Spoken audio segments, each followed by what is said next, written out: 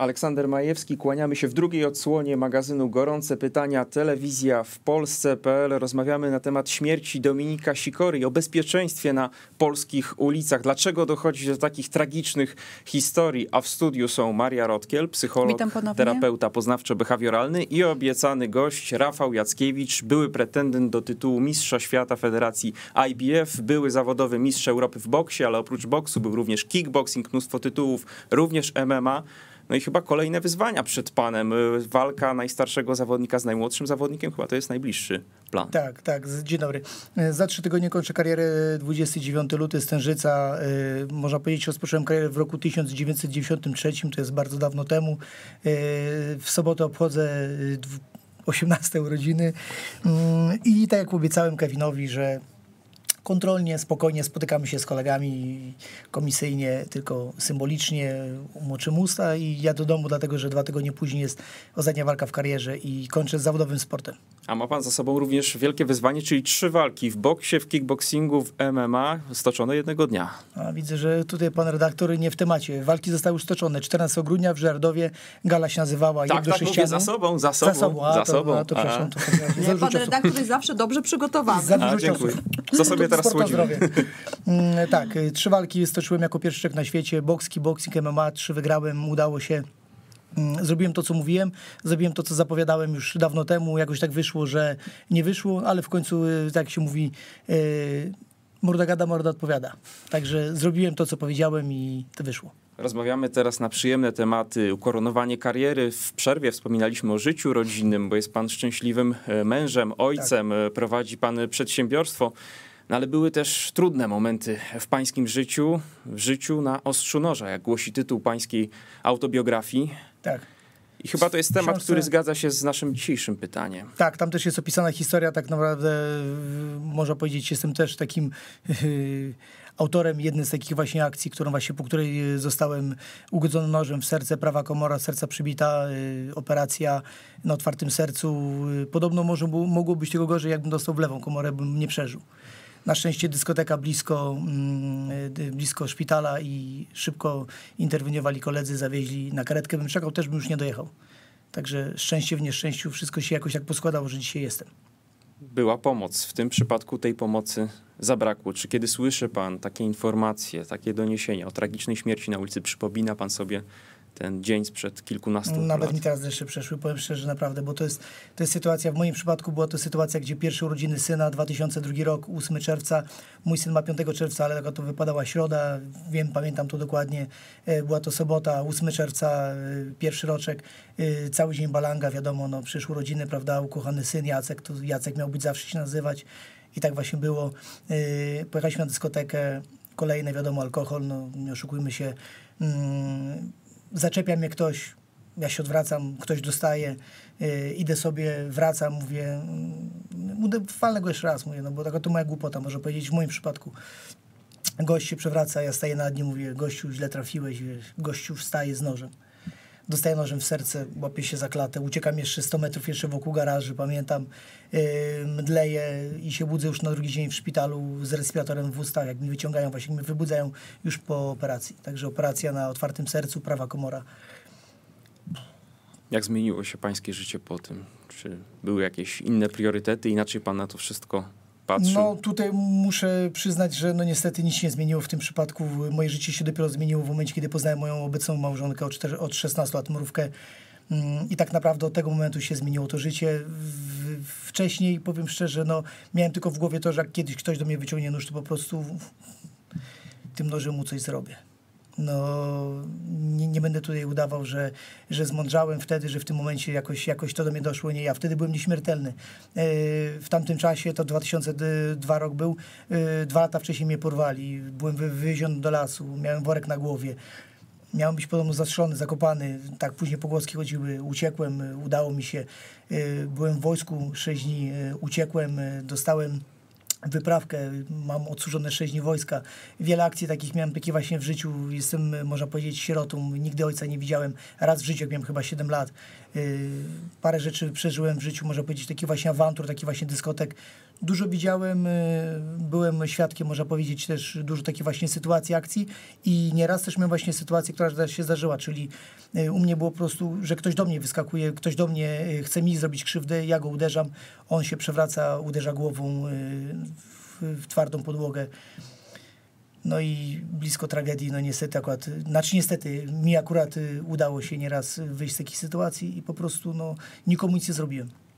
Ale tutaj właśnie, no niestety tak się stało. Takie sytuacje się zdarzają. Rozmawiamy o tych ekstremalnych sytuacjach. Może zadam nietypowe pytanie. Co zrobić, żeby takich sytuacji unikać? Może lepiej się odwrócić, nie reagować? Hmm. Teraz jestem w trudnej sytuacji, bo jeżeli Państwo nas słuchają, oglądają od początku, to muszę trochę połączyć to, co ja mówiłam, z tym, co Pan powiedział, nikogo nie urażając e, i ja wykazać się, się wykazać się dużą dyplomacją. Może trochę nawiążę do tego, co powiedziałam i jakby pytanie, co Pan na to. Ale ta nauka samokontroli, radzenia sobie z emocjami, tej odpowiedzialności za własną siłę i, I umiejętności, umie, tak. które się nabywa, jest i na pewno powinna być bardzo ważnym elementem treningu, szczególnie młodych zawodników. Ja akurat mówiłam o tym, że większość zawodników, których ja znam, e, czy prywatnie, czy zawodowo, to już to zostawmy, tak, ale też odwołuje się do swojej pracy jako tak zwanego trenera mentalnego. Większość zawodników przykłada do tego ogromną wagę. E, dlatego mówiłam o swoich pozytywnych doświadczeniach i trochę tak y, mówiłam o Państwa środowisku jako o, o, o ludziach, którzy starają się bardzo na to uważać, bo macie państw, pa, państwo w tym środowisku, przepraszam, tak ogólnie powiem, po prostu pewne umiejętności, które są nabywane dzięki treningom, e, no, których przeciętny śmiertelnik nie ma. I takie założenie, że jeżeli ja jestem silniejsza, jeżeli ja coś więcej potrafię, to jest to też ogromna odpowiedzialność z mojej strony, żeby umieć nad tym panować. To tak jak ma pan dzieci i może nasi widzowie też mają, jak oglądamy z nimi bajki czy filmy o superbohaterach, prawda? Że superbohater ma supermoc. I ważnym elementem tych historii jest to, że on panuje nad tą supermocą. Ale często w tych bajkach czy w tych filmach jest ten wątek, że ten bohater ma jakiś moment w swoim życiu trudny, jakiegoś pogubienia albo tego, że zostaje sprowokowany, ktoś odwołuje się do jakichś jego prywatnych historii, atakuje jego przyjaciół, jego rodzinę i ten superbohater traci panowanie nad tą supermocą w takim rozumieniu, że zaczyna komuś czasami postronnym obserwatorom wyrządzać krzywdę. Dla mnie to jest trochę podobna historia, że jak mamy supermoc, obojętnie czego na to tyczy, tutaj dosłownie moc, siłę, to nasza odpowiedzialność, nasz trening i nasza praca nad sobą czasem przez pryzmat bardzo trudnych życiowych doświadczeń polega na tym, że na to uważamy tak? że jej jakby, ta odpowiedzialność sprawia, że potrafimy też ją kontrolować. Często jest tak, nie znam pana historii, dlatego jakby też nie chcę się no odwoływać, ja ale książkę pewnie przeczytam, znaczy na pewno Bardzo przeczytam, że czasem jest tak, że musimy coś w życiu przejść trudnego, ale też nasze życie było na tyle trudne, że to panowanie nad supermocą i ta odpowiedzialność zajmuje czas. Czasem jest tak, że my dostajemy od życia, bo mamy szczęśliwe dzieciństwo, jakąś łatwiejszą drogę, po prostu w prezencie trochę pewne umiejętności, na przykład samokontrolę, a czasem dostajemy um, po głowie i musimy się tej samokontroli, żeby nie reagować na agresję, od razu agresją, żeby radzić sobie ze złością, że czasem musimy się tego nauczyć. I to są takie historie. Natomiast szacunek za to, że się tego potrafimy nauczyć. No właśnie, ale tu jest taka sytuacja. Ja na przykład nie ukrywam i ja też to na przykład wszystko opisałem w książce, moją sytuację, moje życie i myślę, że na przykład y, większość y, chłopaków, którzy kiedyś sobie zaczęli trenować, większość, oczywiście to nie wszyscy są tacy jak ja, ale większość to, to jest takich, którzy po prostu zaczęli trenować, bo, y, bo na przykład mieli źle w życiu, bo na przykład to była taka ich ucieczka. W moim przypadku była to ja nie ukrywam. Ja chciałem trenować i być lepszy y, po to, żeby bić innych. Na przykład. To był, to był mój początek i to był mój początek moich treningów. Ja poszedłem na trening dlatego, że ja byłem zawsze zadziora, ja byłem zawsze pyskaty. Ja zawsze, do dzisiaj zostało, ale ja zawsze byłem pyskaty i zawsze miałem po prostu awantury, zawsze miałem spinki i ja pomyślałem sobie, że jak ja pójdę trenować, ja pójdę e, nauczyć się walczyć, to ja po prostu będę, krótko mówiąc, lał wszystkich e, więcej i mocniej i nikt mi nic nie zrobi, a że mówię, no taki miałem charakter, tak zrobiłem. U mnie przyszło na przykład to z czasem, że na przykład im więcej trenowałem, im byłem lepszy, tym musiałem mniej udowadniać, ale na przykład byłem zawsze mały, garbaty, Y, miałem y, ojca alkoholika, którego raz w życiu widziałem na oczy. Mnie mama świetnie pamięci wychowywała sama. Dzisiaj też jestem oczywiście bez mamy od już można powiedzieć 23 lat. Mm, jakoś tam sobie daję radę, ale jednak musiałem do tego dojrzeć. Ja trenowałem po to, żeby wyrzucić właśnie tą swoją frustrację, że właśnie ja nie mam ojca, ja nie mam pieniędzy, ja jestem biedny, ja nie mam butów, ja nie mam fajnego plecaka jak moi koledzy i i, gdzieś tym wszystkim moimi pięściami ja się przebijałem przez, y, przez właśnie przez, przez, przez tą ścianę, gdzie y, wszyscy mieli wszystko, a ja nic, a ja by i tak byłem lepszy od nich, bo ja ich wszystkich lałem. Ale czy były jakieś pozytywne źródła inspiracji? Bo moment y, rozpoczęcia pańskiej przygody z kickboxingiem to złota era, można powiedzieć, tego tak, sportu w Polsce. Marek Piotrowski, Piotr tak. Siegoczyński, Saleta, e, Przemysław tak. Saleta, wielkie sukcesy, mistrzowie świata, zawodowi, amatorscy, więc może było gdzieś ta myśl, chciałbym kiedyś być jak ten chociażby Marek Piotrowski. Miałem kiedyś takie marzenie, żeby zostać mistrzem świata w kickboxingu, jak zacząłem trenować. Ale tak naprawdę, tak jak mówię, no ja nie będę tutaj żadnej ideologii sobie do, do, do, do siebie dokładał, bo to by było nieprawda. Ja zawsze mówię, oprócz sądzie na milicji zawsze mówię prawdę. Także ja mówię jak jest. Ja w trenowałem telewizji w telewizji też, tylko prawdę. E, ja zacząłem trenować tylko po to, żeby po prostu żeby być lepszym, bo wiedziałem, że będę walczył, wiedziałem, że będę e, się lał i po prostu chciałem ja wygrywać, ja zawsze wygrywałem. E, później przyszedł czas, kiedy właśnie tak właśnie Pan powiedział, że sukcesy, że ten, że ten walczył. I mnie inspirowały zawsze walki Marka Piotrowskiego i, i walki Jean-Claude'a Van Damme. Y, film Krawy Sport, tak, tak, lata 90. I w tym momencie ja zacząłem trenować i tak jak powiedziałem, ja im byłem lepszy, tym mniej musiałem komuś udowadniać. Im więcej ja zdobywałem tytułów, tym ja po prostu musiałem mniej komuś udowadniać. Dzisiaj naprawdę już po wielu latach nie mam nic do udowodnienia, bo ja po prostu wszystko i wszystkim i sam sobie przede wszystkim udowodniłem, że będąc małym szczurem, garbatym, yy, naprawdę biednym, z biednej rodziny rozbitej. Ja jestem dzisiaj, można powiedzieć, kimś, bo ja po prostu dużo osiągnąłem, a najważniejszym moim osiągnięciem jest właśnie moja rodzina. Troje dzieci, żona od 16 lat ta sama. Ja wyznaję dzisiaj wartości dom, rodzina, dzieci, miłość. Ja to robię codziennie, ale kiedyś jednak ja się budziłem z myślą, że walka, trening, walka, trening, walka, trening.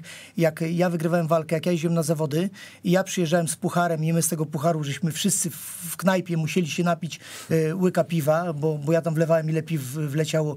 Im większe zawody, tym większy puchar. Y, ja im byłem lepszy, tym ludzie bardziej mnie szanowali. I im ludzie mnie bardziej szanowali, tym więcej ja poświęcałem czasu na treningi, a coraz mniej czasu na imprezy, coraz mniej czasu na alkohol, y, co też w moim życiu też dużo można było powiedzieć sytuacji, ale tylko dlatego, że po prostu ja musiałem wszystkim w koło udowodnić, że jestem najlepszy. Im więcej szedłem w sport, tym mniej yy, byłem właśnie gdzieś tam na ulicy. Pan Rafał I, mówi, Proszę? I właśnie, i, właśnie dlatego tak mówię. Ja mówię swój przykład, ale z tego, co tak y, znam towarzystwo, znam środowisko, oczywiście mówię, to jest po prostu gdzieś tam większość, tak? Ale, bo są też wśród nas też normalni, prawda? Y, także to nie jest tak, że wszyscy jesteśmy nie no, większość jest normalna. Większość, tak. No właśnie, jak to jest? Nie, nie, Odreagowanie, nie ucieczka, jak należy traktować te wszystkie cele, które przyświecają młodym sportowcom na początku ścieżki. Pan Rafał mówił, mówił o tym, że chciał być po prostu skuteczny w tych starciach na ulicy, że chciał pan po prostu przylać komuś mocniej, lepiej, skuteczniej. Jeszcze przerwę, przepraszam, jeszcze przerwę. E, tutaj jest bardzo ważna e, teraz e, rola trenera. No ja na przykład, no właśnie, tylko ja na przykład jak zaczynałem, to na przykład trenowało nas, nie, nie pamiętam, 150, 120, 100 prostu no, no, cała duża hala, na przykład wojskowa. Po prostu z czasem oni po prostu było coraz mniej, coraz mniej, coraz mniej. Później żeśmy się przynieśli na małą salkę, coś śmieszniejsze na komisariat policji w Mińsku Mazowieckim, ale to już nieważne. Mm, I wtedy jakoś człowiek zaczął trenować, coraz bardziej się przykładać, ale trener mm, był dobrym trenerem, był dobrym człowiekiem, chociaż też był wariatem, też dobrym w swoich czasach, ale jednak nie było czegoś takiego właśnie, że on mówił, słuchaj, nie rób tego, wiesz, nie warto, wiesz, chodź tutaj, a jednak to trzeba mówić, to trzeba przekazywać ludziom, słuchaj, y, nie warto y, Powoli przyjść na salę. Zmierzamy do końca. Jaka jest rola trenera? Czy rzeczywiście on powinien być tutaj takim wychowawcą dla tych młodych ludzi? E, tak. Z mojej perspektywy to jest to równie ważne. Dobrze, powiem równie ważne. To jest to, co Państwu powiedziałam jeszcze zanim Pan do nas dołączył, e, żeby te, treningi szły w parze z takimi umiejętnościami natury psychicznej, e, umiejętnością samokontroli, nie pakowania się w kłopoty, to ta rola trenera i ćwiczenie to mentalne psychiki jest równie ważne. Tak? Bo mamy do czynienia jednak z siłą, która komuś może zrobić krzywdę.